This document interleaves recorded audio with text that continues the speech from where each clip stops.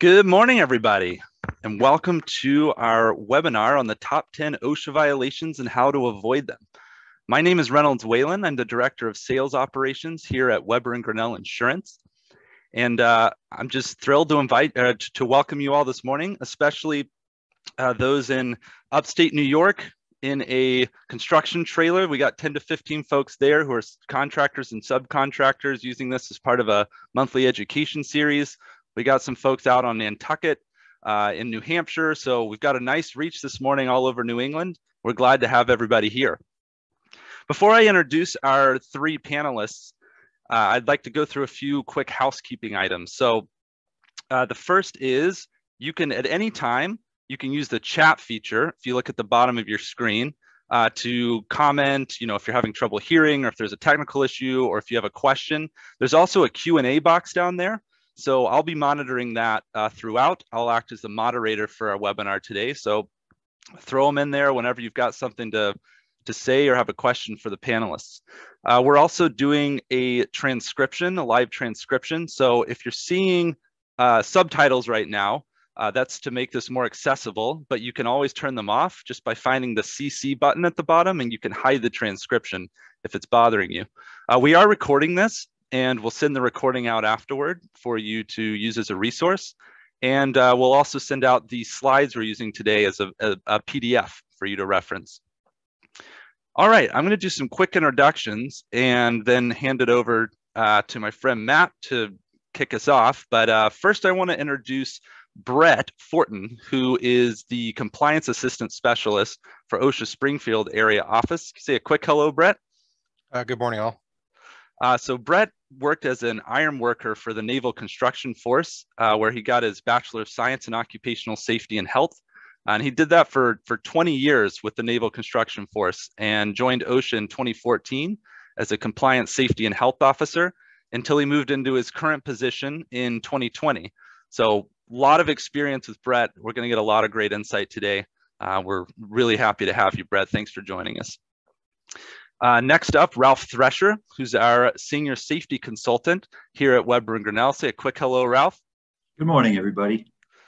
Great to have Ralph as always. Uh, Ralph helps our clients in a big way doing mock OSHA inspections, uh, helping them with safety and compliance issues, forming safety committees, all, all things safety to keep everyone uh, on track and make sure everyone's staying safe at their organization. And he has 35, more than 35 years now of experience as a safety consultant. He started with Aetna in the early 80s, where he specialized in construction. Uh, and then he also worked for Utica. So he has experience with the on the carrier side as well, um, and for another agency before he joined us in 2017. So Ralph, good as always to have you here. Thanks. He's a legend Ralph's a legend around here. All right, and then uh, last but not least, we got Matt Geffin, uh, who is a partner here at Webber and Grinnell. Uh, he joined in 2009. He's been instrumental in developing our risk platform, uh, which you'll hear about in this webinar. Uh, Matt, can you say a quick hello? Quick hello. Thanks, bud. Ralph uh, is a legend, by the way. I just got to throw that in there. Sure is.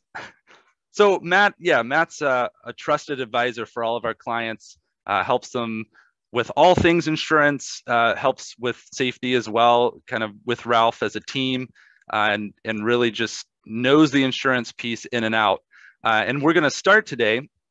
I'm going to hand it over to Matt in a minute about framing this conversation uh, and why it's important and how we're going to approach it. So before I do that, here's how this is going to work. We've identified the top 10 violations from 2021 based on the number of citations and we're going to go through each one, talk a little bit about the data, share some anecdotes. Ralph and uh, Brett are in the field every day on this stuff. You'll hear some insight there. And then we're also going to give you a few takeaways for how to make sure you're staying compliant, uh, which is, is going to be great for, for you moving forward. So without further ado, that's enough from me. I'm going to hand it over to Matt, and he's going to set us up with just some context here. So Matt, take it away, buddy. Oh, wait. All right. Sorry, I oh. lied there's a uh, obligatory slide here on uh, uh, OSHA, you know, some some OSHA um, stuff about, uh, you know, just regulations and everything. So you can read that later. We've got it recorded. So just, uh, you know, they're not responsible for things basically. All right, over to you, Matt. All right. Well, I'm glad you weren't going to read that. I got a little nervous for a second. So. Um, all right, great. Thanks, and uh, welcome everyone. Thanks for joining us. We're um, we're excited to be doing this webinar this morning. It's an important topic. Um, it's one we deal with almost every day, definitely every week. And, and a great question we were talking about as we prepared for this is, well, why are we doing it? Why are we here? Um, and obviously, first and foremost, it's important from a compliance standpoint to understand what, what OSHA expects of you, right? You're the employer. Your your job in protecting the health and safety of employees is um, is really imp- an important one. And so again, this is this is critical in understanding from a compliance standpoint what you're expected to do. But secondary to that is, you know, why are a bunch of insurance guys talking about OSHA compliance and, and, and why does that play a role here? Um, and I think it's important to understand that OSHA does play a critical role in strategically managing, managing your organization's um, risk and ultimately driving down costs of your insurance. And, and why is that? Um, I think the reason is pretty simple commercial underwriting and the way we price risks is a very subjective process. It, it, relies on human underwriters to make a pricing decision based on your business. And there are a lot of factors that go into it. Um, underwriters are really trying to price your business and price your risk to fund for future losses. And so if a company's not paying attention to safety standards, they're not OSHA compliant, and, and just generally is not thoughtfully managing operations safely, then the likelihood for losses is higher. And, and thus, an underwriter's got to price that risk higher than someone else. Obviously, conversely, if, if, if I train my employees, if I adhere to safety standards, if I've got a high level of care regarding the safety of my organization, losses are less likely. And thus, your insurance cost does not need to be as high because they don't have to fund for future losses. So, again, accidents happen. That's why we call them accidents. But our job is to stop those preventable ones. And so, um, again, it's really important that we're paying attention to this as we try and drive down our cost of risk. Um, so, again, that's why we're here. I'm excited to talk through this. I'm going to mute it and hand it over to the pros on OSHA. Awesome. All right. So, we're going to jump right in here and uh, start with number 10. So, we're going to work our way up. Uh, with the most common uh, violations that we're seeing in 2021. Number 10 is on machine guarding. So on each of these slides, you'll see the OSHA reference number if you want to look at anything in greater detail. So with machine guarding, uh, we, we've got some stats for you. Uh, in 2021, there were over a thousand citations, 1,113 for this, for machine guarding violations. Um, this is the cause of approximately 300 deaths annually. So I think it's important to take a step back at the beginning here and note that this isn't just obviously about insurance and risk and your company's risk. This is about people and health and safety. This is about uh, fathers and husbands and mothers and people and their lives. And it's just really important. And it, it I, for me, it's just really telling when we see these numbers uh, how much harm it's causing when people aren't aren't following this, um, you know, following the guidelines. So uh, there's also approximately 1,500 serious injuries annually. So machine guarding is definitely a really important topic. So I'm going to hand it over to Ralph and uh, Brett to talk a little more about uh, some things they see in the field. And we've got some pictures as well here. Right. This is a horizontal bandsaw. And what we wanted to focus on was the cutting surface. If you'll notice the blade running across, and it's the, the blade guard to the right should be extended over so that only the cutting area is exposed to the blade as opposed to having that area as well, you know, being open so that somebody inadvertently could uh, unfortunately injure themselves. Brett, you want to add to that? Uh, really, the, the thing to look at mostly with these, this is a common thing that is found in most shops where these exist um, is making sure that uh, employees understand and know that um, as you adjust stock, you're, you're going to have to take the time to adjust the, the blade guard also. Um, typically, we find it in places that do a lot of different uh, stock and they forget to adjust that blade cover back. So it's extremely important that they understand that. Of course, we have the infamous table saw without the blade guard, the splitter on the on the back. And uh, the other thing that I like to look at is the housekeeping you know, because sawdust is very flammable. So a couple of things to add with that, it is it is missing the kickback fingers. Um, it, it's also missing the spreader bar. Uh, typically, where most accidents happen here is because the blade becomes bound upon the work that it's doing, particularly when you're trying to cut a smaller piece. Uh, and with those items removed, you now have uh, a, what would be called a caught by problem, where the blade will actually catch the wood, pull it or push it, and then bring your hand into contact.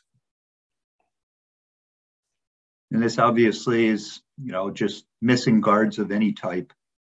Uh, the on-off switch should be labeled so they can tell if it's on or off, you know, if there's a power interrupt problem. But basically, you're looking at something that I call homemade, and you know, it's always best not to do that because you gotta you gotta comply with the ANSI standards at a minimum. I think this might be the last one on on this.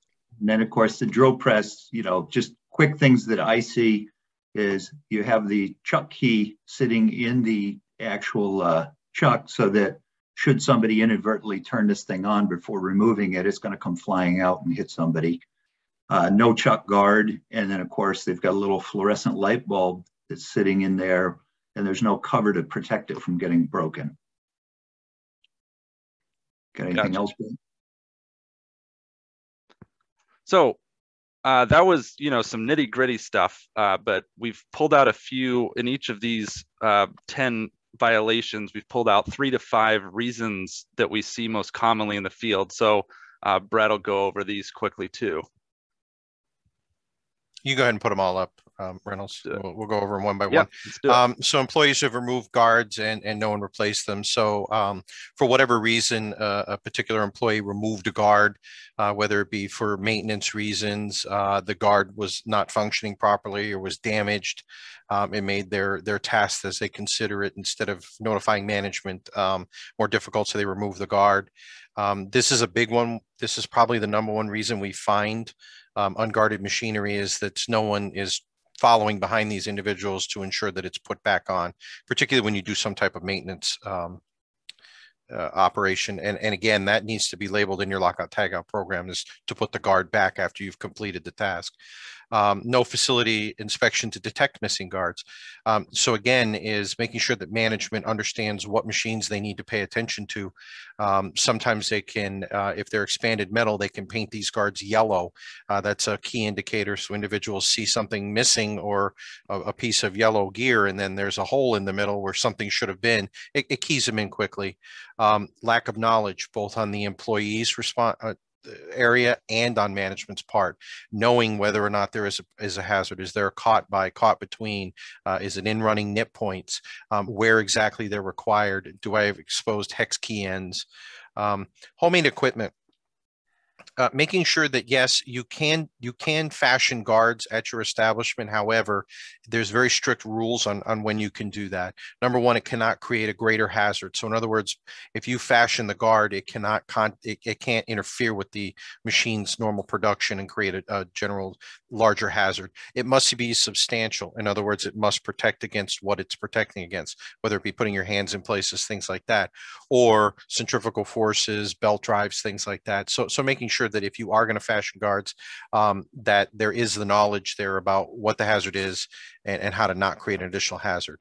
Um, yeah, as always, you can always call experts in. Uh, there are safety engineers that can do that. You can call most of these firms and, and tell them what your machine is, and they can guide you in what you need to put on there.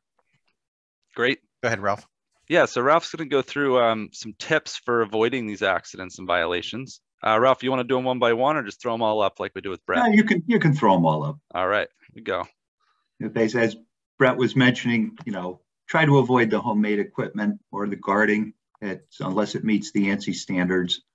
Uh, if you, you're finding that the guards are removed, of course, you want to make sure that employees receive training about why the guards are important and then monitor them to make sure that things are being put back after they've been removed, say for maintenance uh, training the employees, how to inspect the equipment for proper guarding. Before anybody's ever, you know, walks over to fire up a piece of equipment, you know, they should be just doing a quick check to make sure the guards are in place. Along with that, you know, if you have uh, sliding doors with interlocks on them, it's not a bad idea to make sure the interlocks are functioning properly. And then lastly, if you have a situation where you have people that like to routinely take guards off, they do need to be disciplined. You should document it. Great, thanks, Ralph. So some of you may be sitting here thinking, well, I don't really have many machines in my operation because of how my business is. And I want to assure you there's nine more of these. And I, I guarantee you some, at least some of these are going to apply to everyone on the call.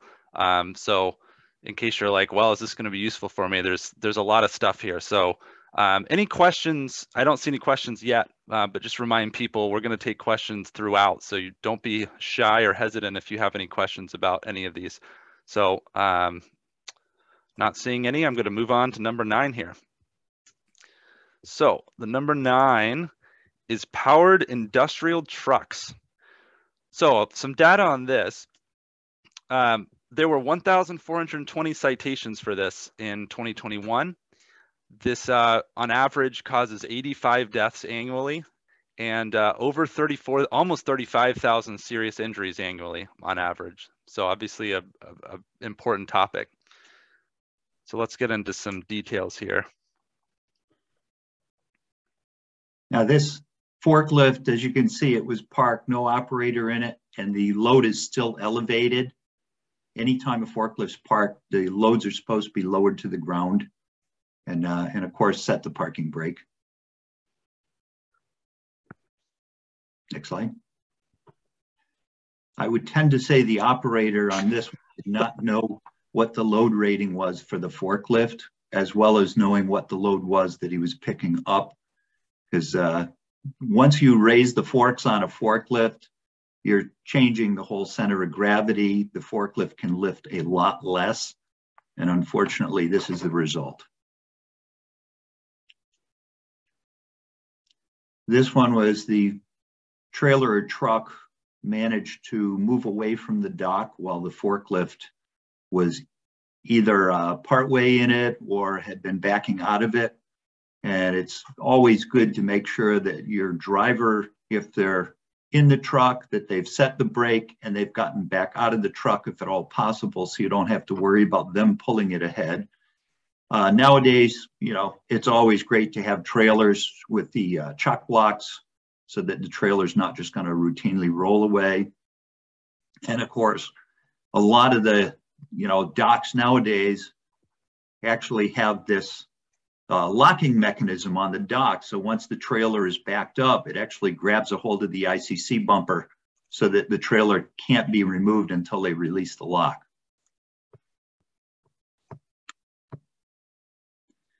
And of course, we have the infamous forklift cage and forklift cages present uh, some really interesting hazards because first and foremost, the operator of the forklift, you want to make sure, you know, is a very qualified person because that person that's in this basket, you know, really doesn't have any control over anything that that forklift is going to do.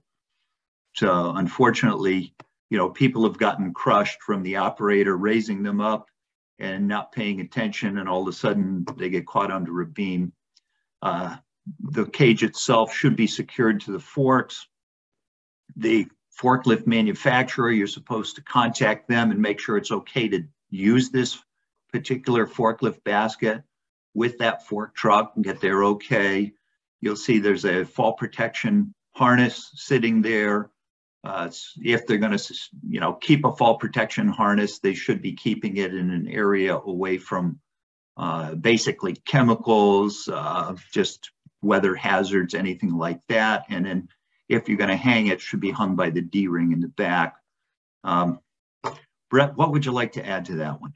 Uh, just a couple of things to remember with some of the older baskets. Uh, there is a requirement that that hinge be spring loaded. It must automatically close. Um, if that spring mechanism is broken, it has to be repaired. Um, the other thing with the fall protection gear is making sure that you're inspecting it prior to every use.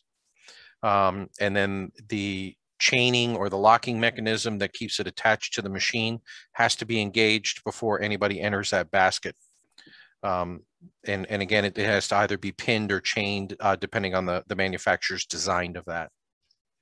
Do they need to have a written program to use baskets, like as a part of you know their overall forklift program? Uh, yes, there has to be training that's on it, um, and that training has to be documented. Anytime uh, now at general industry, the introduction of the new uh, walking working surfaces in 2015, uh, don't forget that there's also a requirement to train individuals on the use of the equipment, how to inspect it, um, making sure that they select the correct the correct lanyards. Um, all of that has to be covered under 1910.29, uh, which is the training for fall protection. They need to make sure that, that is not only performed with anybody that's going to do work in that, but that it is documented that it was done. This is one of the ones that has a physical requirement to document training.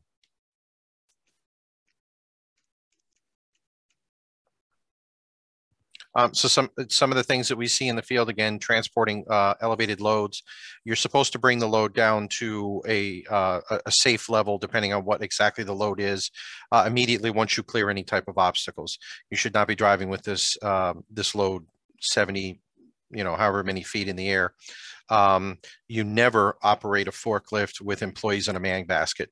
It is supposed to be stationary and only used to go up and down. You do not actually move the forklift while the employee is operating the basket um, not securing trailers to docks with locks or chock blocks.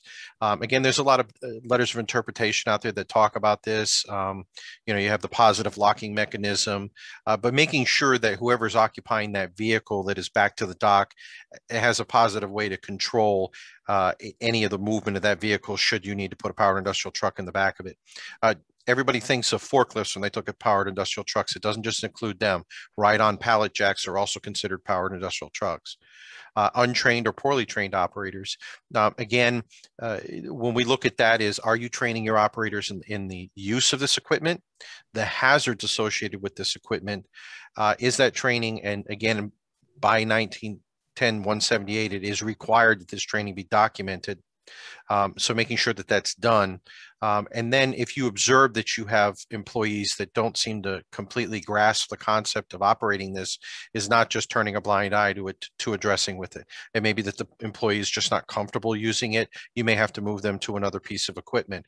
Um, but again, it, it, becomes a liability not just to yourself, but your employees and those on foot that may be around these individuals. Um, horseplay and speeding, they lead to almost all accidents. Almost every accident I've ever investigated that involved a pit involved speeding. They were going too fast for the conditions in the warehouse. Um, that needs to be monitored. It should also be trained to your employees by posting signs, by saying, hey, this is the speed limit that you're allowed to do in here, uh, particularly when you start dealing with employees that are going to be on foot around them. Uh, seatbelts not worn. Again, if it's equipped with a seatbelt, it has to be worn. Uh, if it's not equipped with a seatbelt, it's an older model, then uh, you, you, need to look at having that installed by a, a authorized um, authorized uh, distributor who's allowed by the manufacturer to do so. Basically, you for any powered industrial truck operation, you're supposed to have a documented training program, training the employees, and you know initially, and then after every three years, at an absolute minimum. Or if there's been uh, any accidents, incidents, they're supposed to get retraining, and you want to document your retraining. Of course, never move loads with them elevated. Your uh, center of gravity is much higher and is, you're just apt to flip the forklift. Make certain the trailers are secured from movement. Monitor your inspections on all shifts because, uh, you know, quick story ran into a local warehouse type uh, building materials dealer one night, could hear some interesting noises coming down an aisle and lo and behold, got a guy that's blowing donuts with a forklift in there. They had cordoned off the aisle and he's sitting there blowing donuts. It was really amazing to see. And then, of course, wearing your seatbelt, always ground the forks when you're parking it and set the parking brake. All right. Number eight. So this is eye and face protection. And jumping right into that is uh, there were 1452 citations in 2021. Um, every single day, there's over 2,000 eye injuries. This one was, this one was sort of shocking to me, uh, requiring medical treatment. So this is a this is a huge one, um, and there's over 100 accidents that result in time away from work. So it's also affecting your wallet as a business owner. Now, this was a TikTok video, and this particular gentleman you know, you'll notice it says, because I just did. Well, you can imagine what he was talking about. Basically, he was using a, from what I could tell, it was a type 1 cutting wheel with a type 27 guard. The type 1 cutting wheel is flat. The type 27 guard is a cupped guard. And when I was looking at the pictures, the what was remaining of the cutting wheel was within a, I'd say a 16th of an inch of the edge of the uh, guard that was on the equipment. So obviously when the wheel flexed a little bit, he probably contacted the edge of the guard, which then caused the wheel, which was rotating it on this one was around, I believe, 9,000 RPM. And it just came flying up. Unfortunately for him, it didn't hit him, but it's darn close as you can see in the pictures. Should have had safety glasses on as well. But most important, you know, know the difference between the guards and which one you should be using. I prefer to see a type one guard, which is a fully enclosed half guard, you know, and a type one wheel, as opposed to they do sell a type 27 wheel, but the guard itself is, you know, half open. So not impressive. I know Brett would like to add to that picture though. Uh, just the biggest thing to remember is that this type of, of, PPE is for face and neck protection. It is not for eye protection. Um, the requirement to wear, uh, depending on what you're doing, you may be required to wear additional glasses underneath it. Um, because again, this is designed to protect your face and your neck area, uh, not your eyes. Um, and some of them, depending on the thickness and what they're graded for, might be an inferior guard to prevent something from contacting the eye. Now, when you go online and you read all the blogs, you'll you'll read so many people when they're using these little handheld grinders. They remove the guards, they refuse to use them. They say, "Oh, you, you read about people getting hurt, but oh, I've never had a problem." And that thing's spinning at 11,000 RPMs. Believe me, if you do something wrong, you will have a problem.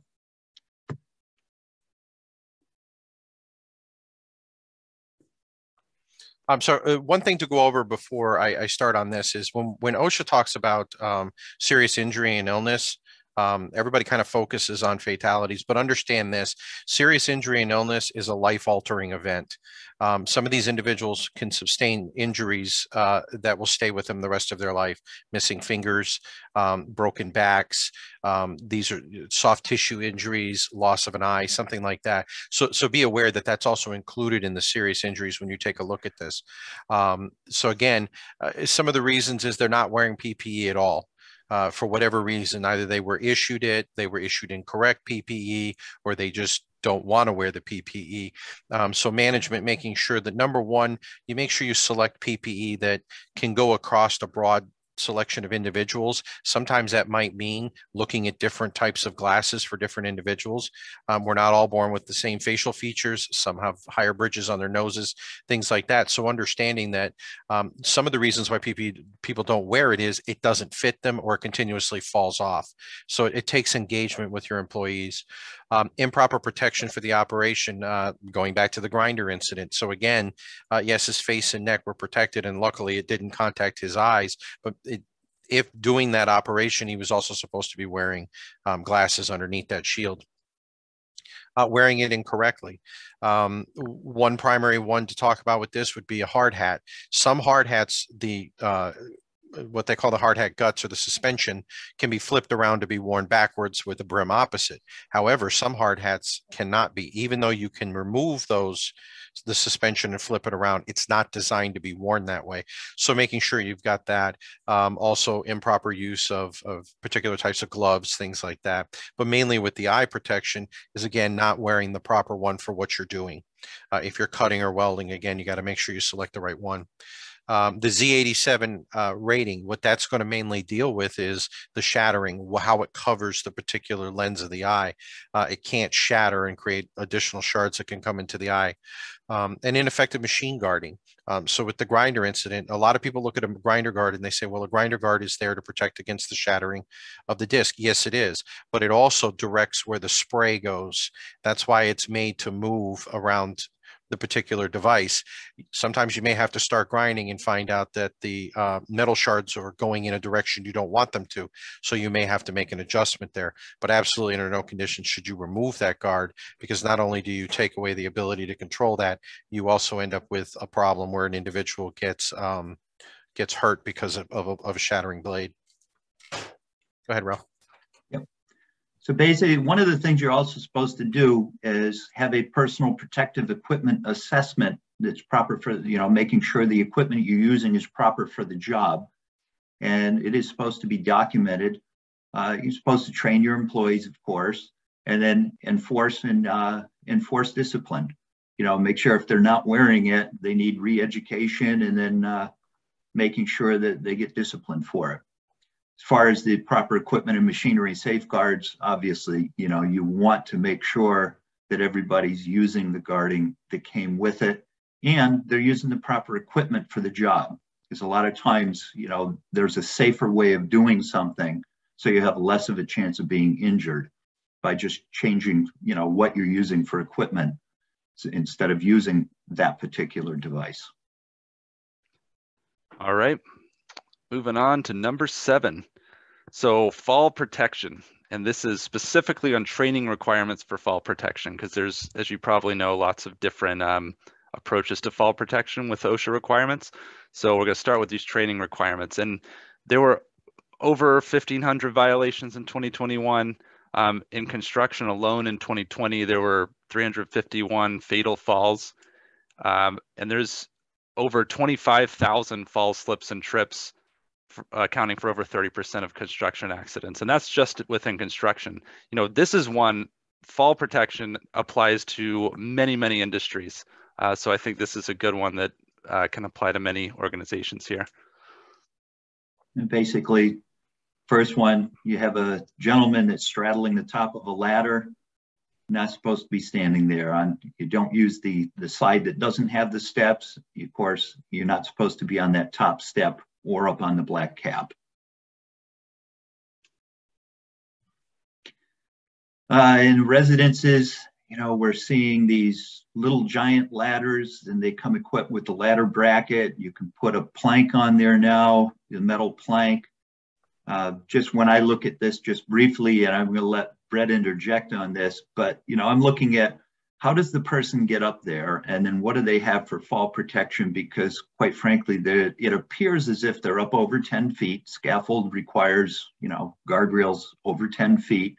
You've got power lines right there. And then you see the ladder on the right side you know extension ladder. And i'm going to guess that that's what they're using for access. So he's got to step off to the left of the ladder going outside of the uh, of the ladder rails. Not too impressed with that Brett, take it from there. Uh, so really the, the, the number one thing to look at here is it, you're going to have two areas where falls are going to occur the most um, where the individual is standing on the uh, platform uh, or as the industry calls it a pick um, you have to be protected from falls and, and, you do that in several different ways whether it be guardrails nets um, or the personal fall arrest system.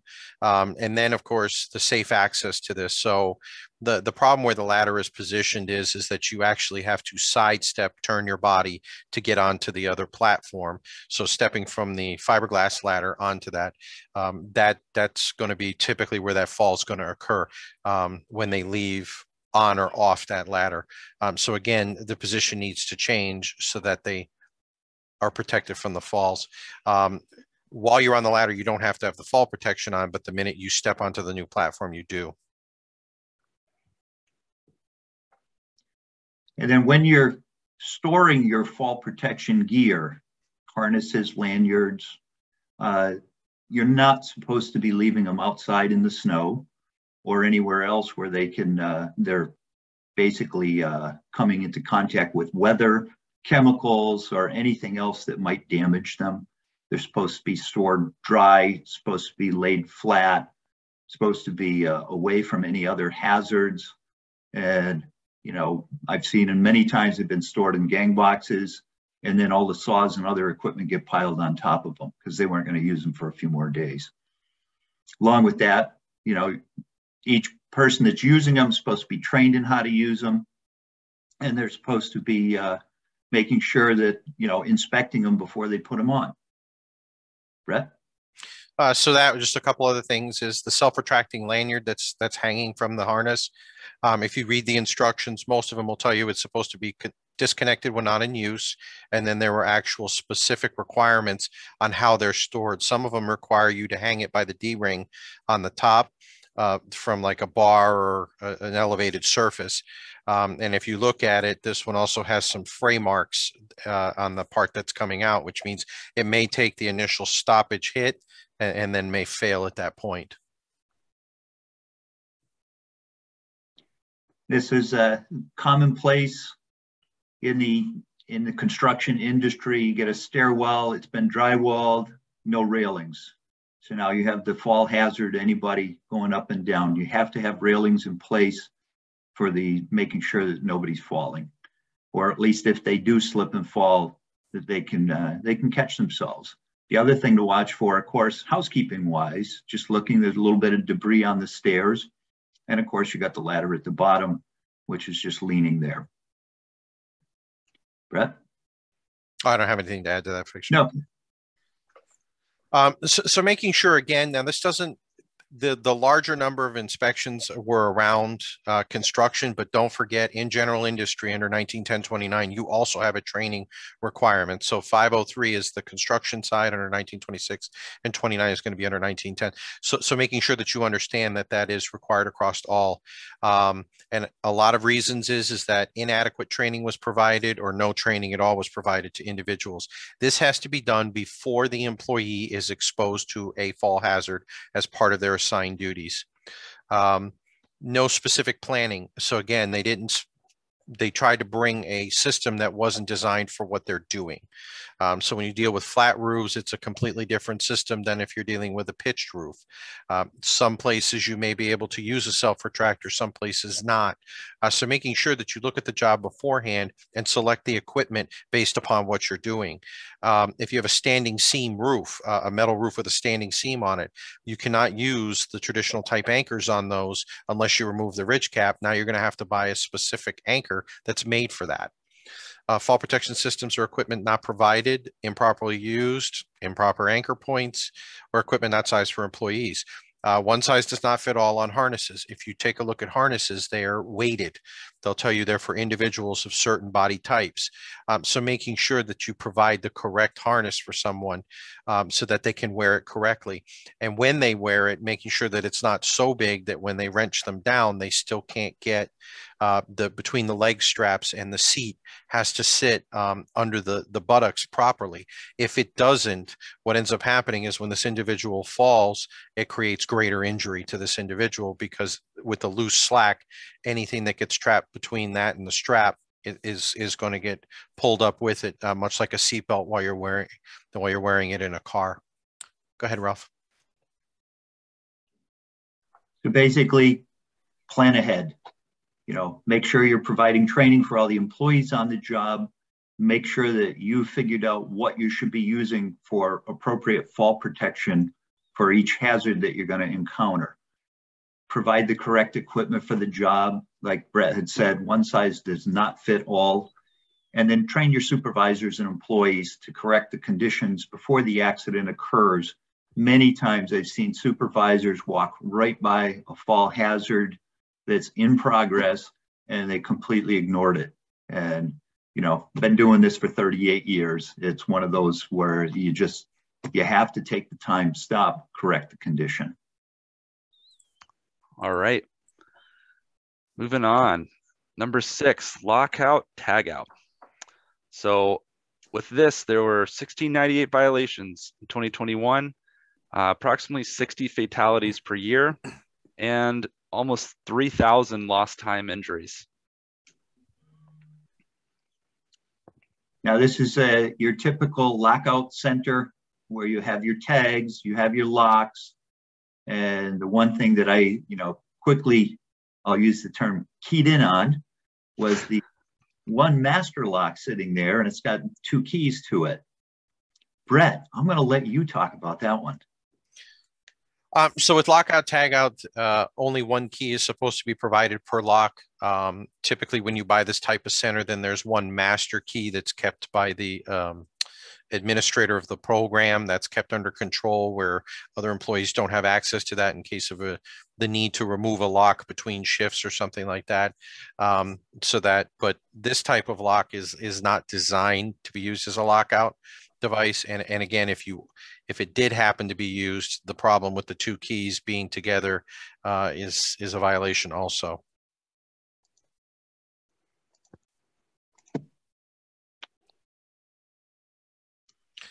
Um, so this one, lack of proper training. The first thing you have to do is identify what type of employees that you have. Are they authorized or are they affected? Um, so the, the number one key is, is if you have to apply a lock to something, you are authorized. If you are affected by somebody applying a lock, you are an affected employee. Okay. Um, if you work further down an assembly area and they lock out the beginning of it, you would be an affected employee because the action somebody took farther down the line would be the individual um, that was authorized and you were affected by that lockout tagout. Um, failure to lock out all power sources. Um, it, it's natural for most individuals to look directly at, oh, it's a direct, you know, 220 or, or 408 circuit. I locked that out. Uh, don't forget pneumatic. Don't forget steam. Um, uh, hydraulic, uh, your machine might have several different sources of energy. Some other things to take a look at also is do you have storage devices within that machinery? Do you have capacitors that need to be discharged? Do you have a capacitor with a timer? Um, that it, it's it's a failsafe for certain devices that allow it to cycle at least once in the event of a power failure. You need to make sure you're looking at these machines because they're unique situations that have to be addressed um, for locking out. Uh, failure to test perform, performing maintenance and repairs. So again, making sure that you verified that what you did to this machine to stop the hazardous energy from causing an unanticipated startup or action is actually working. Uh, it is a requirement to do an audit on every one of your procedures yearly, and that's the purpose of it is to make sure that what you suggested actually takes the hazards away. Looks like you have a question, Reynolds. Uh, just just a hand was raised, and j- just a quick reminder, um, because we are on Oh. Zoom, it's unlike this is unlike a Zoom meeting, so we won't ever be able to see or hear our attendees. So um, if you do have a question, just type it into the the chat or the Q and A, uh, and we'll get to that. But yeah, no specific question yet, Brett. Okay, so I, I just want to make sure before we went too far. Um, Yep, so thanks. again, making sure that employees understand that in part of performing the lockout tagout procedure is to make sure that the hazardous energy has been locked out and cannot harm the person, you know, the repairs that are being done. Um, also understanding the difference between maintenance and repair and normal machine operation too. So um, there's a lot of confusion that deals with that. So knowing that, go ahead, Ralph. Basically, you have to have a written program. You have to train all authorized and affected employees. And as Brett had said, the authorized employees are the ones that are putting the locks on. The affected employees are the ones that usually work in that area or even could be passing by the area, you know, but somehow they're they're affected by it. Uh, test your machinery equipment to confirm it is locked out correctly, following documented procedures for that equipment prior to working on it each piece of equipment or machinery is uh, usually provided by the manufacturer with a proper lockout procedure on the machine. You want to make sure that you're following that procedure. Unfortunately, you know, I can remember being 32 years old, which was many years ago at this point, had a, an electrician up in the mills in the uh, western end of the state. He and his dad were working, going to work on a, a line the mill had locked it out for them. So he clipped into it and lost his life because they had locked out the wrong line. So, you know, it's it, always, always, always trust but verify. You know, you want to make sure that you're you're checking that to make sure everything is shut down so you you, you don't get caught in it. And then of course, you know, follow all the lockout tagout procedures in the order prescribed. And then on an annual basis, you want to basically review and, and test your people that are involved in doing the lockout tagout just to make sure that they're still doing things properly. All right. It's about halfway through here. Um, just a quick note, I, th I think this was stated uh, in the written material. We, we are planning to go till 1130, um, although we may end a bit early, but just for your timing planning. All right, number five here, hazard communication uh, is so almost 2,000 violations for this one and 672 worker fatalities in 2020.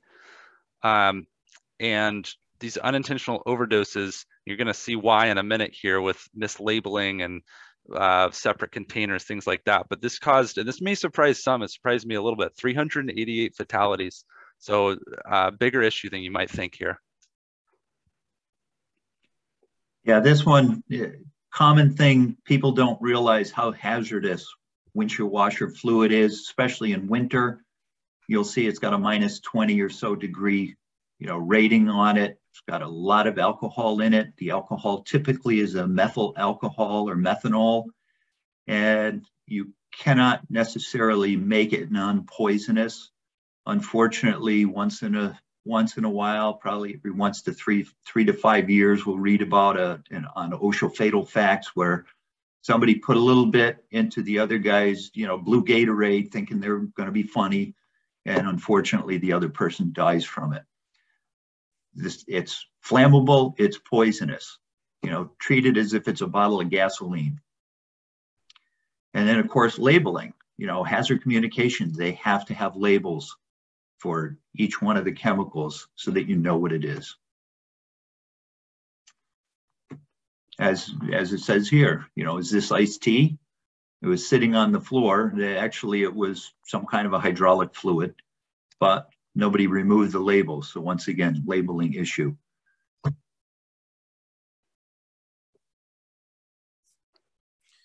Um, many reasons for this. Uh, probably the largest one is not having a written hazard communication program. So in other words, your program has to uh, address things like um, a, a, chemical inventory. What do you have? What have you had in your establishment?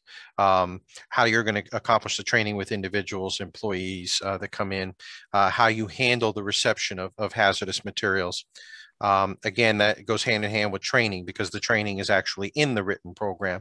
You do have to keep, this is another one of the, the few um, requirements that has documentation requirements attached to it. So you must document that the training was done. Um, SDS is not readily available to employees. Um, there's a lot of different ways to have them available. Uh, some people choose to put them on computers. It is allowed to be put on a computer, but however, it cannot be in an office that is ever locked. It has to be 100% accessible at all times to employees. It cannot be on a computer that has a password that has to be locked. And again, it has to be accessible to employees at all times. Um, most of them go with uh, just having the printed document in the right to know places, which is fine. Um, that's acceptable. It's 100% within compliance. Uh, just understand this, that if you no longer carry a uh, particular chemical, if you did have it in your establishment, employees may have been exposed to it, that SDS sheet has to be archived and saved for a minimum of 30 years so that if at any time you did use it as part of your program, um, you used a particular type of oil or lubricant that's no longer uh, kept there, you have to keep that for 30 years after the last point it was used in the establishment. Um, no or improper labeling. So again, secondary containers, um, individuals will find all kinds of creative ways to move um, from bulk storage to, to smaller containers, making sure that they are properly labeled. Um, and making sure that you put what the what the actual product is, uh, not its slang name that it may be known by other individuals in the establishment, what is actually in there, so that when the individual does become accidentally exposed to it, they know what SDS sheet to go to. Brett, can you can you give a few examples of common um, hazardous materials, like for especially for anyone on this call who's not in an industry where they're using like really in, intense stuff, right? Just like cleaning supplies and what are what are some common ones that you would suggest paying attention to? Uh, common ones, particularly, you know, with the, with the advent of cleaning with um, with COVID, you're looking at sanitizers that have been mixed from a bulk container storage, um, bleach and water. Sometimes that occurs. Um, don't forget, even in an office setting, if you have a very large industrial shredder, you have to apply shredder oil to it every now and then, or the blades dull or destroy themselves. Uh, that has to be labeled. If it's put in a secondary container, let's say you get it in a gallon container, and then you put it in a smaller uh, squirt bottle type that allows you to to effectively um, uh, lubricate the jaws or the uh, the blades, uh, you need to make sure that that's labeled. Um, there is some labeling requirements different to commercially avail or I'm sorry, consumer products. So if it is a consumer product that is available in a quantity and a strength that is available to the general public, it does not necessarily have to have a specific label. It can have the original label on it. I'm just going to choose Windex, for instance. If you have a bottle of Windex that is regular strength, not a special industrial strength, or you know in a 55 gallon drum, because most consumers don't purchase that, uh, it is acceptable because the warnings are inside of the label itself. It's usually that expandable label, and that is covered by the Consumer Protection Act. Um, however, if you get something that is caustic, uh, like oven cleaner, even though it is a commercially available product, because it is caustic, you also have to have the SDS for that, and you have to make sure that the label is on the container. Um, did that answer your question, or would you like me to go further? No, that was that was great. That's exactly the kind of thing I was looking for. Thanks, Brett. Brett, um, Brett, could you also just tell them, you know, your typical, I'll call it homemade label. What are the few requirements that they have to have on each one of those labels? Uh, you have to have any health or or, or um, signatory where there's if it's poisonous, bad for the environment. Uh, that those stickers have to be on there the little pictograms that come with the GHS uh, program, which is the globally homogenized system. Um, that was developed originally because individuals who have trouble reading, they can identify quickly from the pictures what the hazards are associated with something. So it brought everybody into the fold because pictures span across multiple languages, uh, multiple cultures. Everybody kind of understands what a skull and crossbones means. Uh, some may see death, some may see toxicity, but all in all, people know that's a bad thing. So if you see that on a piece on a product, you know you're going to have to take a look at um, what exactly is it that's that's hazardous about this product, um, and then the name of the product. What is in there? Um, is it motor oil? Is it uh, is it shredder lubrication oil? What exactly is in there? Um, and again, this is if somebody were to accidentally be exposed to it, spill it, uh, get it on their skin, you know where to go to get the information. So that would be the bare minimum of what's required on there. How about the manufacturer's name? Does that have to be on there or phone number? Not necessarily. It, it depends on the product. Again, if it's a, if it's a CPA covered product, so like Windex again, everything's on that label. Uh, so it really depends on the product itself. Okay, thanks. Gotcha. All right, so basically everyone has to have a written hazard communication program. And the other part of that is it's a good idea to make sure your program is updated. Many times I'll run into, you know, ask a company, do you have a hazard communication program? They'll go, yes, they'll pull it off the shelf.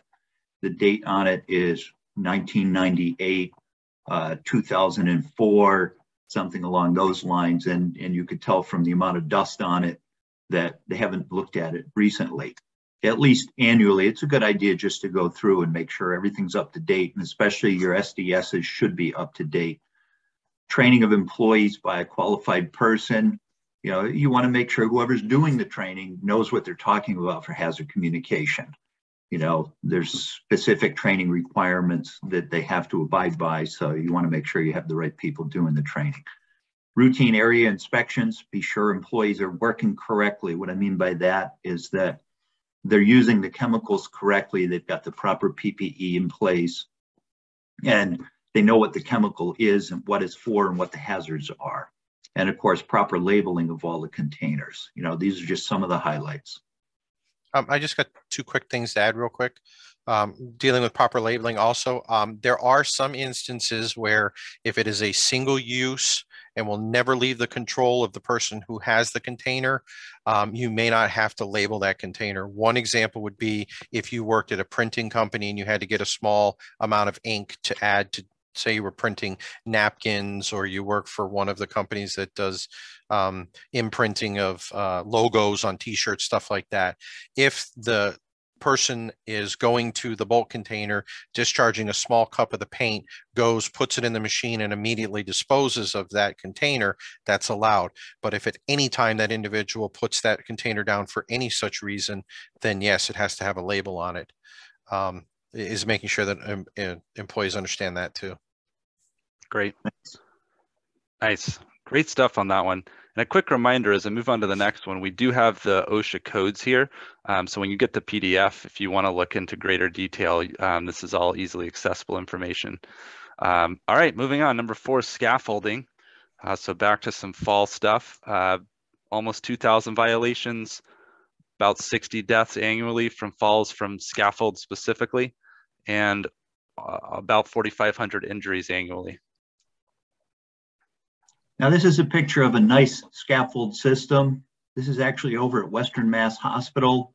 And basically, you can see they did a lot of planning. And, you know, when before they erected this, they've got fall protection up on the roof from when they were doing some roofing work. They've got stairwells. Uh, it just was a nice looking system.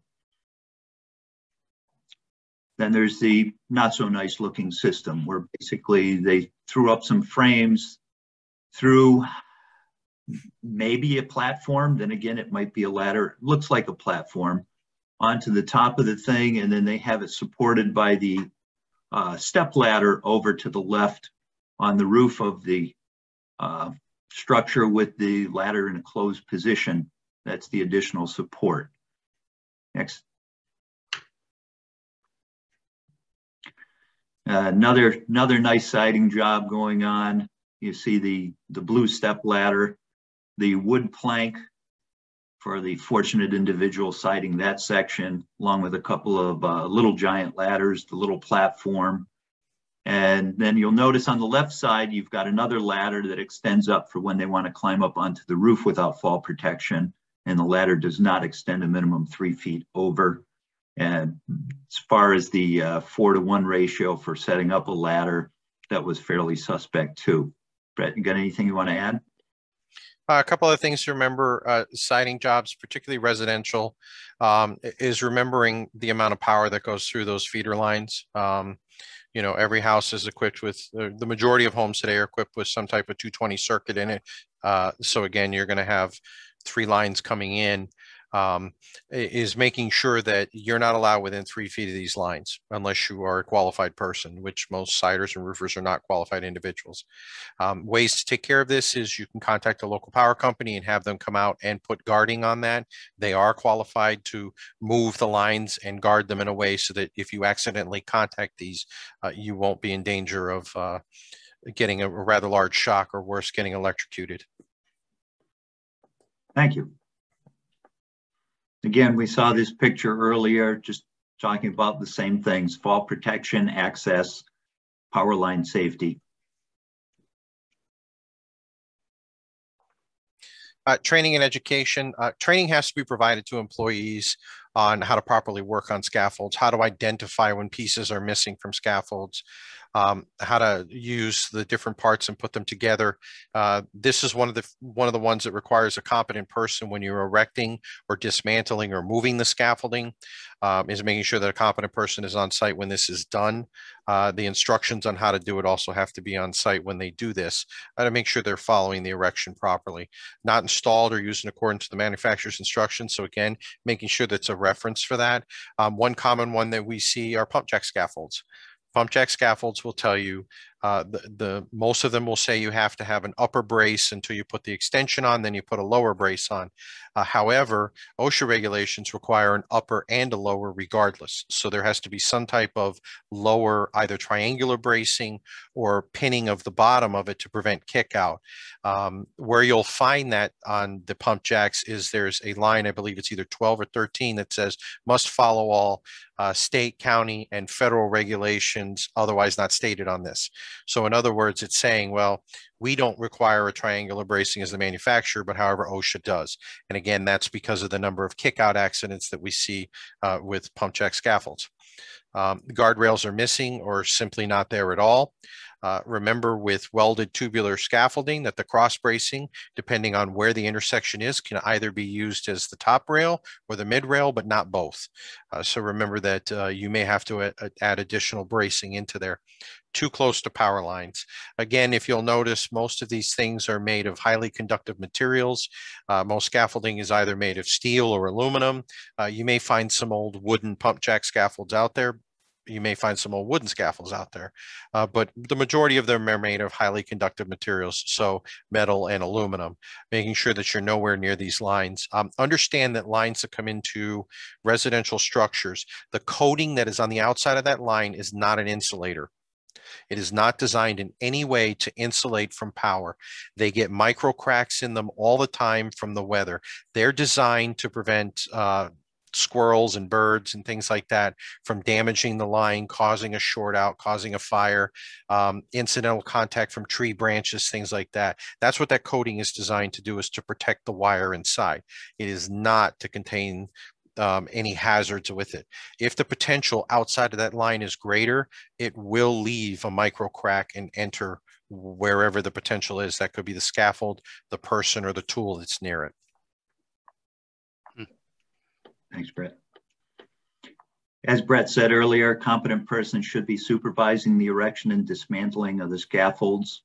Only qualified trained personnel should be erecting or dismantling the scaffolds with the competent person supervising. And of course, only trained personnel should be using the scaffolds. Access to scaffolds, you know, it's got to be proper. This is why people fall. A lot of times we've seen, you know, people climbing up the uh, cross braces or the scaffolds to access them, you know, or climbing up, under, and through, you know, it, climbing over the guardrails. It's just all not ways to be accessing them properly. As far as safety equipment, making sure guardrails, midrails, toe boards, screens, access ladders, and stairs, you know, they should all be utilized. And of course, I had put stay 10 feet or more from live electrical power. I hate electricity. Too Um, easy just-. Just one more thing, Ralph. Um, when it comes to safe access of scaffolds, uh, you have scaffolds out there that are called pass-through scaffolds. Some call them mason masonry scaffolds. They'll have a tapered end on either side, and it'll have things that look like ladder rungs. Uh, no, those are vertical support. They are not ladders. They do not meet the intention of a ladder. There are scaffolds that have ladders actually as part of the outer frame.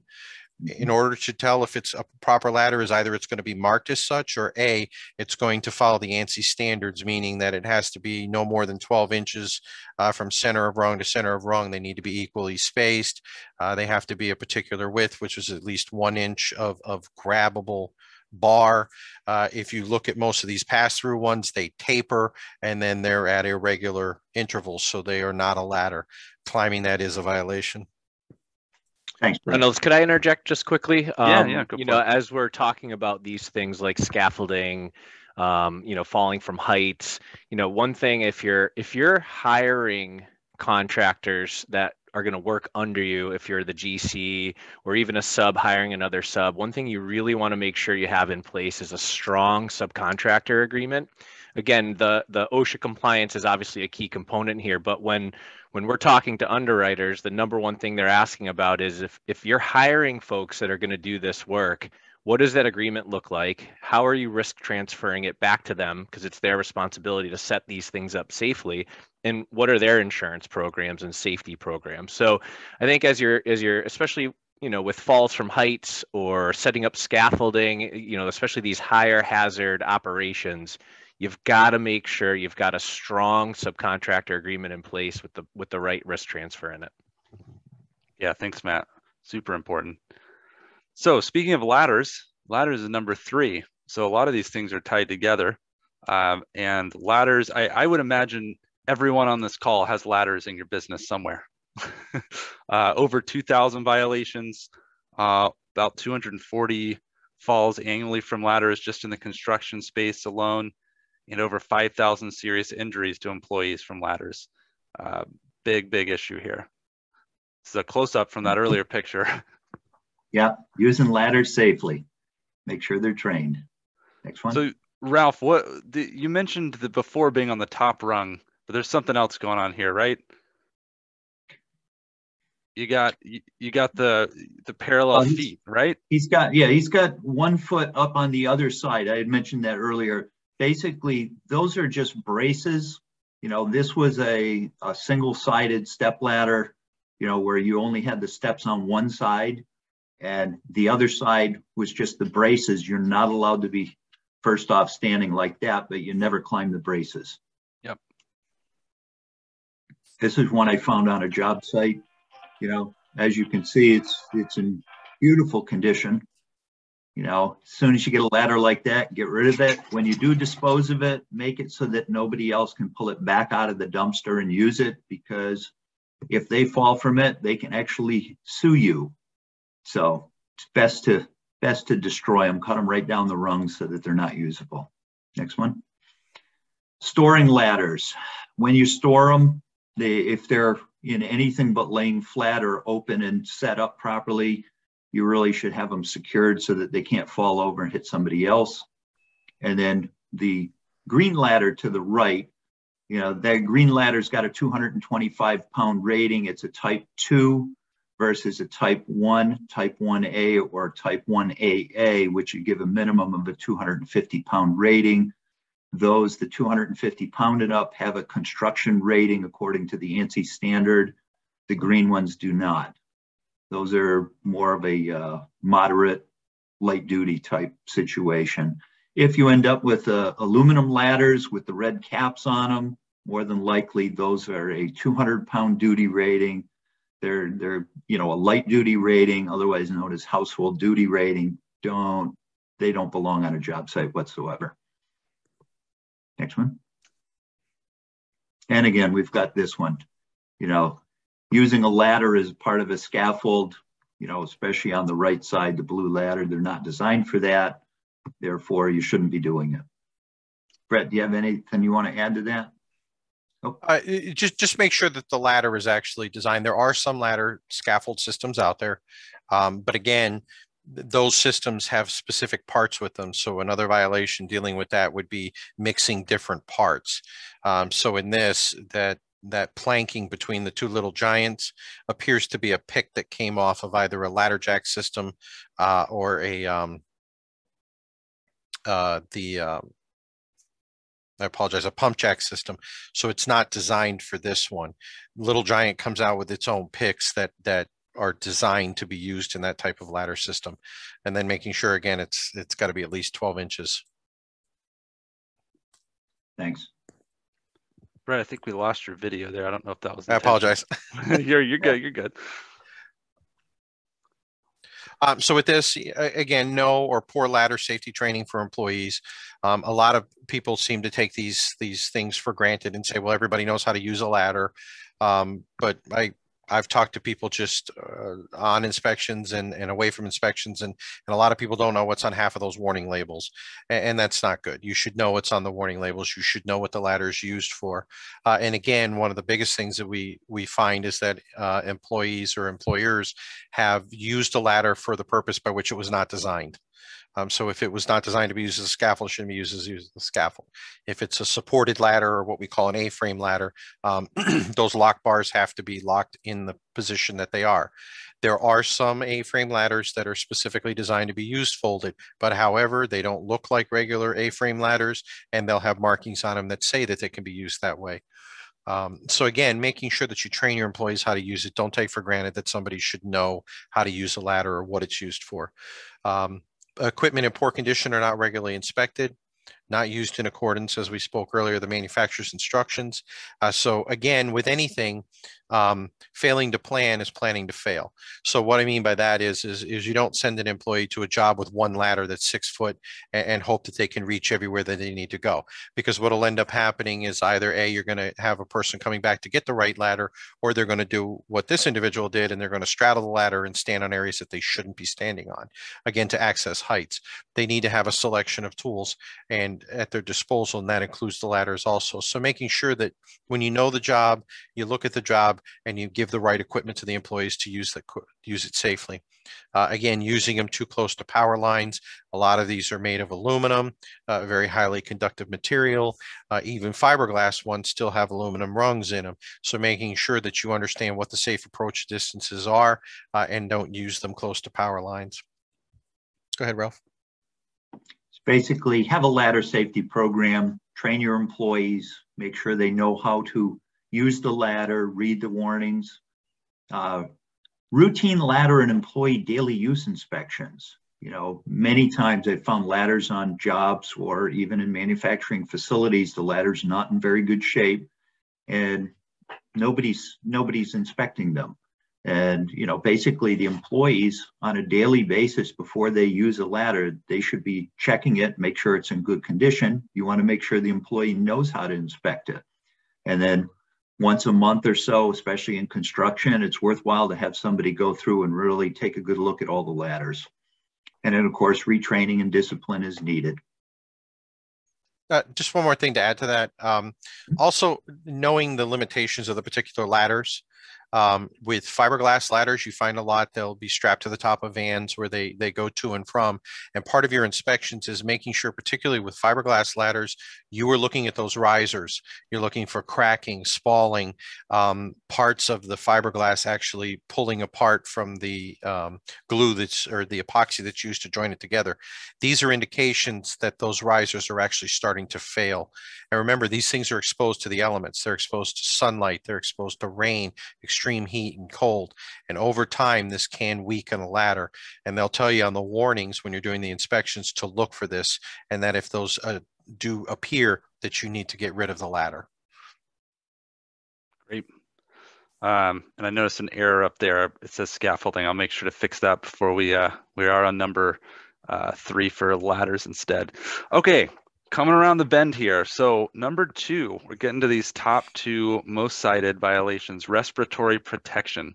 So for data, this one's a little interesting, right? So you see the violations, just over 2,500, but the number of deaths and serious injuries on this one is really hard to calculate because not using proper respiratory protection is usually a longer term effect and the death is or the injury is attributed to the condition.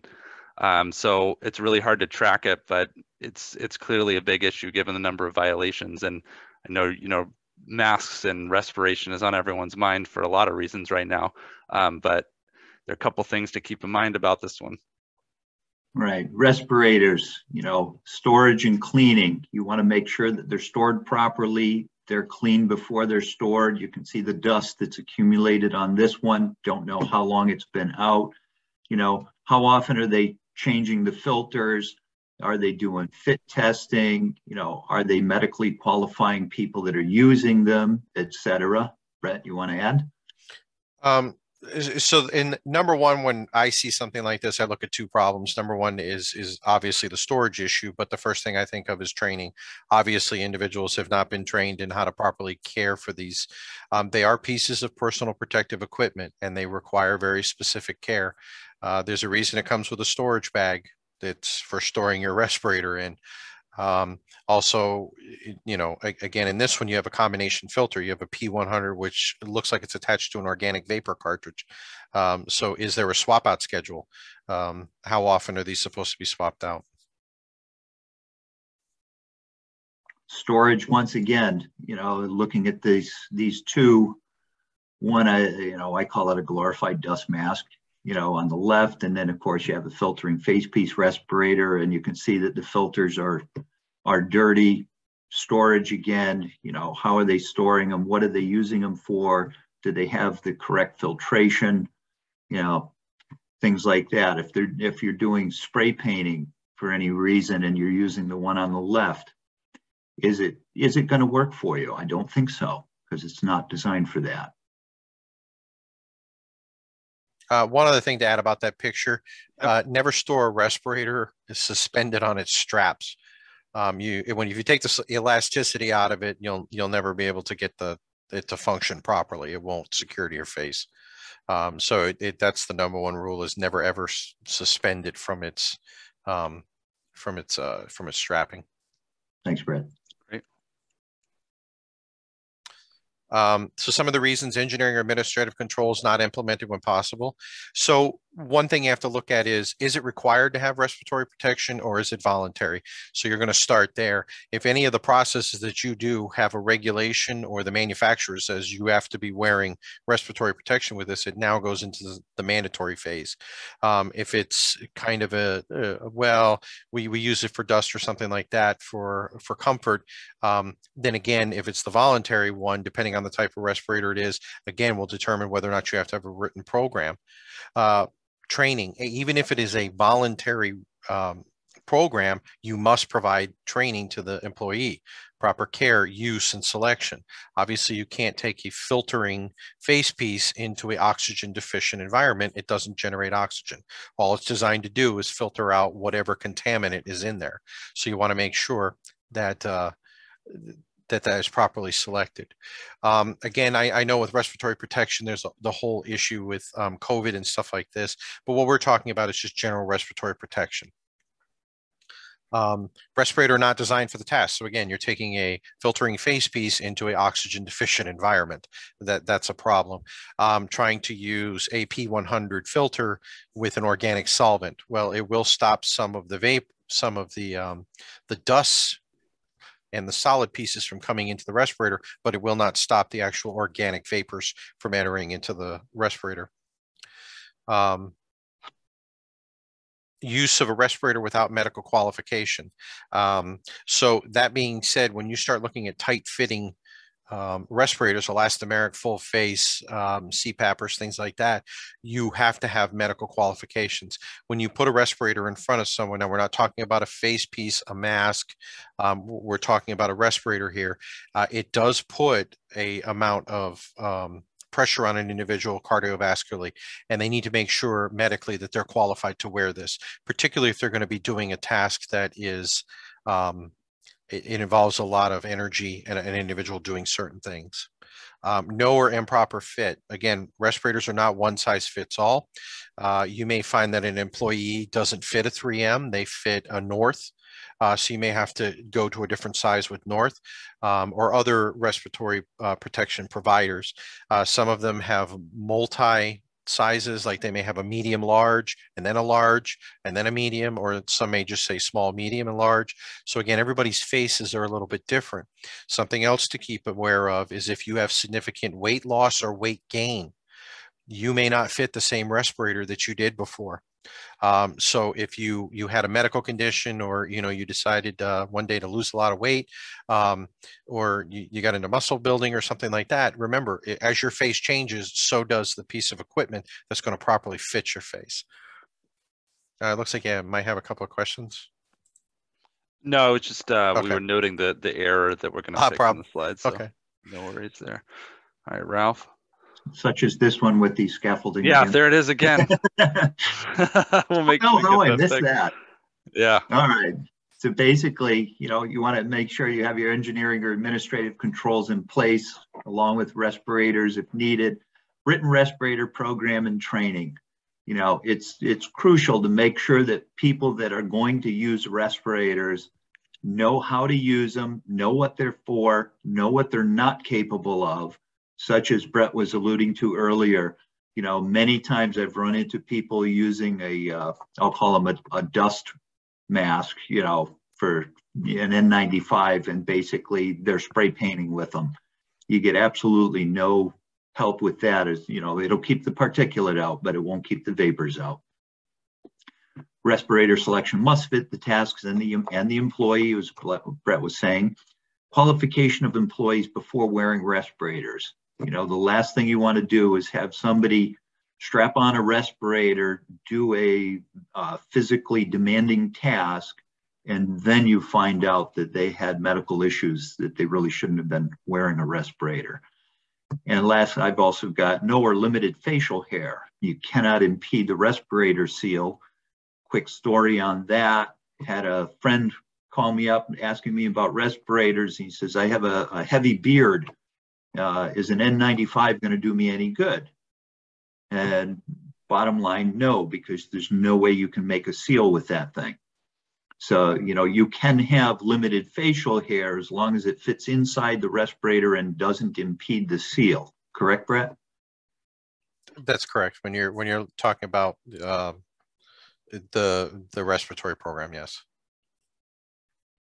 Thank you. All right. So, moving on to number one, the tension has been building.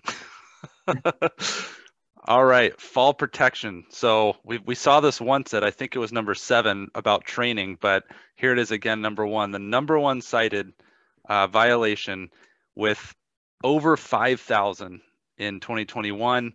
Uh, in 2020, over 350 fall deaths in just in construction, and over 25,000 falls, slips, trips, Uh, and in construction, that's about a third of the accidents annually. So obviously a really, really big issue with that one. Uh, this is a nice picture from JJ Keller, basically showing people working on a flat roof and everybody's tied off. You know, they've got their harnesses, got their lanyards, got their anchor points. I didn't study it too thoroughly to check that one anchor point, you know, to the left there, but it, it just seemed like a, a nice picture to put in there just to show people this is what it looks like. And this is what it doesn't look like. Yes, they're on a ladder, but it's still a training issue, you know, for fall protection. Got a step ladder that's being used in a closed position. It's not designed for it. It's only up a couple steps. So if he does fall, he shouldn't get seriously injured. Just, you know, maybe break his ankle or something. That's a good point. You don't have to fall very far to hurt yourself. No, you don't. Something to think about. So it's not just Especially as we construction. get older. And of course, you know, looking at this, I'm this was sent to me by a friend. And you know, looking at it, I wasn't too sure, but it almost looks like they may have set the ladder up on the roof itself. And then you've got the bracket, and of course, you got the power line coming in right there. And you know, the minute I saw that picture, I just cringed. Too many ways of falling on that one. Uh, so again, uh, the the number one problem with fall protection is because either they weren't trained on how to recognize when they have to have fall protection, when they need it, what type they need. Um, so again, that that's the biggest one is is educating the employees of of how to identify hazards and situations that may expose them to a fall um, inadequate systems or equipment. Uh, most of the time with this, what we find is, is they'll have a system and it's just completely installed incorrectly. Um, most of the time with the, the roofing industry, what we find is, is they'll have what's called a, a flap anchor, which is a, a double-sided anchor that is supposed to fit over a ridge or along a, um, a truss or a uh, rafter. Um, they'll nail it in. Uh, in the older models, uh, pre 90s, early 2000s, you could fill it up full of 16 penny nails and that was acceptable to the manufacturer. The newer ones do not allow that. They want three inch um, stainless steel screws. The screws come with the kit. They give you a reorder form in case they go out. Um, there are other types out there that have to use lag bolts. It just depends on what the particular system is. Um, and again, it'll have a pattern that must be used in order to meet the 5,000 pound requirement. Um, employees hate using it. Myself as an iron worker, I wore it for over 20 years. Uh, it gets in the way. It's cumbersome. Yes, it is. Um, but what it's designed to do is to save your life in the event of a fall. Remember, uh, our, our number one um, wish for anything, any job is to engineer out the hazard. But sometimes you just can't get rid of a fall hazard. When you're on a roof, it's it's always going to be there. You can't take the roof off the house or the building and build it on the ground. You have to build it where it is. So in other words, you can't really get rid of the hazard. So now what I've got to do is I've got to minimize the risk. You don't minimize the risk when you don't use these systems properly. Uh, another another key common one that we find is is that you'll have a lifeline with a rope grab they'll pull the rope grab all the way down to the edge of the roof so that they can move freely up and down from side to side. They'll have it at more than a 15 degree angle. Because um, again, it's cumbersome. We understand that. But understand this when you don't use it that way, you will go over the side. Once you go over the side of the eh, leading edge, how much lanyard do you have? Uh, typically, you've got to have over 13 feet of free of distance for that system to deploy. Sometimes they're as much as 18 feet. It depends on the size of the person. It depends on the lanyard, um, and it depends on, or is it a fall restraint or a fall arrest system? So you have to look at all of these things when you do that. So that kind of falls into the reasons that people get violations for this is improper systems and no training.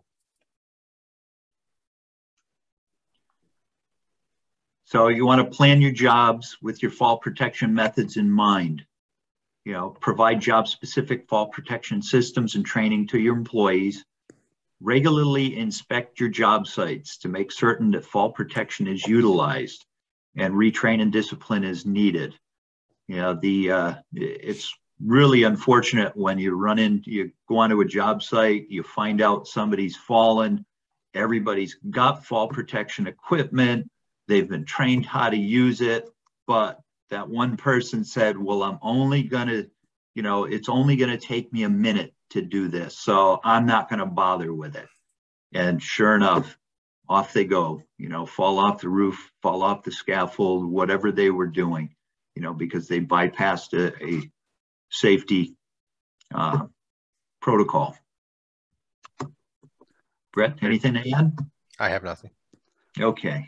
All right. So we got a few minutes left. I'm going to hand this back to Matt for just a, a quick overview of how we help our clients with this kind of thing and how we how it relates to insurance just for probably two minutes and then we'll leave a couple minutes for any remaining questions at the end.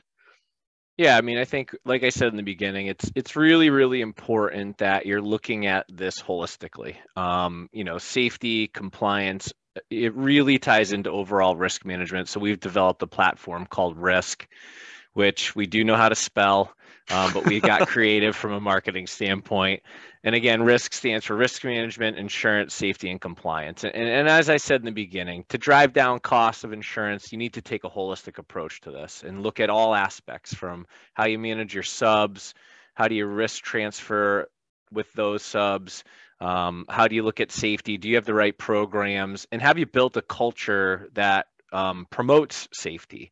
Um, that's really, really important. And that's what we talk about with our clients. So, certainly, if you're a client and you need help in this area, reach out to us. We've got a lot of resources. Um, if you're not a client and you're interested in talking to us about this, again, please reach out to us. We'd be happy to talk to you. But let's Great. leave some time for some questions. And uh, and again, I appreciate everyone joining us this morning. Great. So yeah, just give it a pa- quick pause here. If anybody has anything or anything that wasn't discussed, I'll also mention that um, as I as I said, I'll send this these slides out as a PDF after I correct those quick little errors I made there, uh, and the recording of this. And I will encourage you to respond to that email if you have more detailed questions or questions you may not want to present here in this format. Um, we can get those along to Brett and Ralph, and happy to help you in any way. So, not seeing anything, we're just a couple minutes early here. Um, I really want to I want to take a minute to thank Brett. You know, we really appreciate the time you spent uh, with your day and your expertise. You are uh, clearly have been doing this for a long time and have some great insight. I know there's it's a lot more detail there, and it's awesome to have you as a resource. So thanks so much, Brett. We really appreciate it. No problem. All right, I think that's it. Thank you everyone for joining. I'll be in touch uh, later today with all the materials, and uh, stay safe out there, everybody. That's our last slide. There's who's that, Ralph? Is that yours? My grandson, Killian. That's right. Just a reminder that uh, a lot of us have families relying on us to stay safe out there. So that's always uh, number one. So thanks, everybody. Enjoy your day, and we'll be in touch. Take care. Take care. Bye bye.